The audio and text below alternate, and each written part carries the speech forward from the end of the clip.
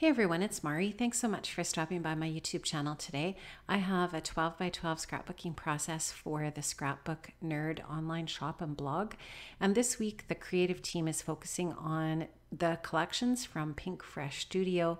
And I am going to be using the collection Let Your Heart Decide for my layout today. So this is the 6x6 pad that I'm showing you here. And I used mostly just a 6x6 pad for paper for my layout. Now I'm going to be using this cut file from the Silhouette store called Split Circles. And I'm going to back all of the openings in this uh, cut file uh, using the 6x6 papers. So what I did was I just cut the, uh, the, the design from a piece of textured white cardstock and then as you can see here, I'm just going to take a variety of different papers from that 6x6 pad. And I will show you how I went about doing this for at least one of the open spaces here. And then I will just shut my camera off and then do the rest off camera because it did it did actually take me quite a while to back this entire cut file because you can see that there are a lot of different spaces. And I wanted for this particular layout to fill in every one of the spaces and not just some of them. So I really like how this turned out in the end. And very quickly here, we'll see a transition and you'll see the finished product. But all I did here was I just flipped the layout over and I adhered, I added a little bit of liquid adhesive using my fine line bottle to the back of the cut file in each of the different little sections. And then I just put the six by six paper on there and then cut around it. And that was the fastest way that I could think of to back this cut file. Besides just using one pattern paper with a, a bunch of different uh, patterns in it, that is another way of doing that that would be super simple. But I wanted to include a bunch of different patterns and papers. So this is how I went about doing it. So you can just see that I'm trimming off that excess. And now you can see that very messy back and you can see how the front is really nice. I love how that looks like excuse me, a, a patchwork or a quilt almost, and I really like the effect that it gives. Now I'm going to be scrapping this 4x3 photograph of my son, which was sent to me as a Snapchat. Um, so I usually screenshot those photos that he sends me because he doesn't send me very many pictures. And he had to put a text box over top of it but I ended up doing an overlay over top of that of my own using PicMonkey and then I printed it in black and white. I did a few adjustments of the photo in PicMonkey before I printed it. And now you'll just see that I'm going to uh, create my photo mat using first of all a layer of vellum and then just some of the other uh, six by six papers from the Let Your Heart Decide collection. I wanted some of the edges of the photo mat to be rough. So you can see that I do use my Tim Holtz ruler here just to tear off some little bits of paper from that photo mat. And eventually I'll end up with a fairly thin photo mat around each of the different sides.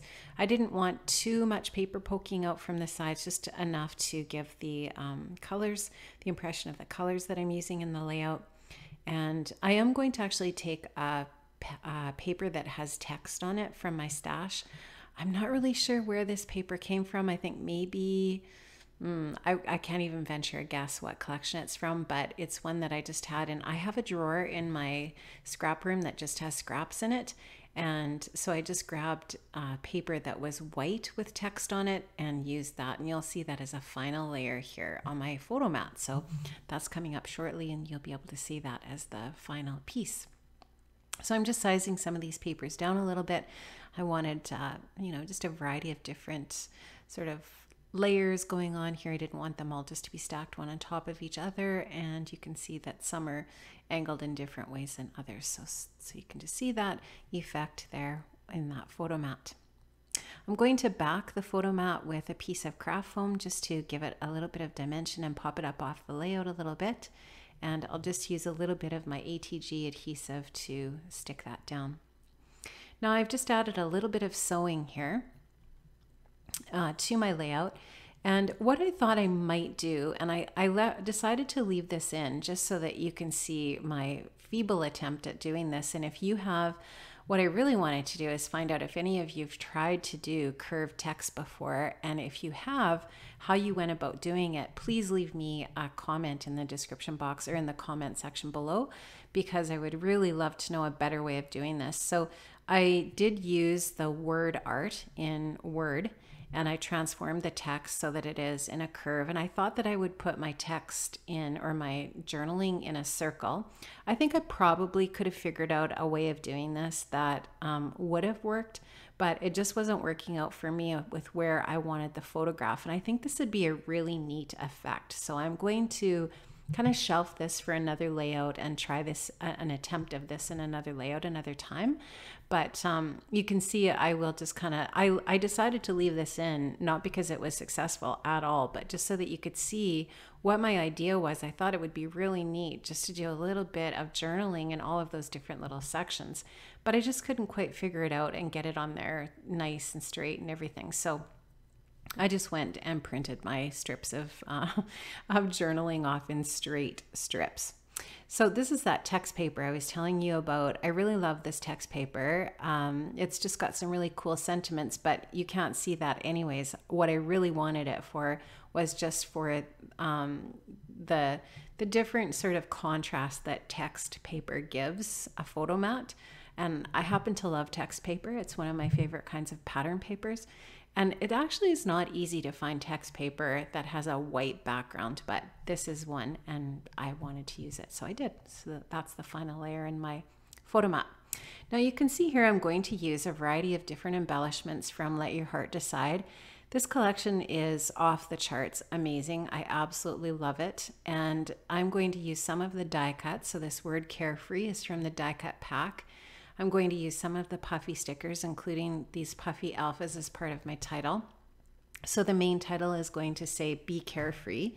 And then underneath that is going to be my journaling strips. And then I'm just going to use some of the other stickers, um, dimensional stickers, die cuts, um, cardstock stickers, puffy stickers, and so on to um, just to embellish.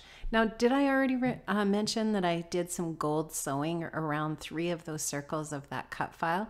If I've if I'm repeating myself, please chalk it up to being 53 years old. And yeah, I forget stuff sometimes in these voiceovers. Or if I haven't mentioned it, hey, guess what? I did some sewing on three of the circles gold, gold thread using my sewing machine. It just adds a little bit of extra texture to the layout and gives it just a little more detail, and I like how that looks. So now I'm just going to continue to add a few more of those details You'll be able to see here where I'm doing this. I love this collection, the theme of the collection for this photograph of Jordan. Um, he's has got lots of things going on and lots of change happening in his life. And I just thought that this was a really cool theme of this collection from Pinkfresh to use for this particular photograph of him.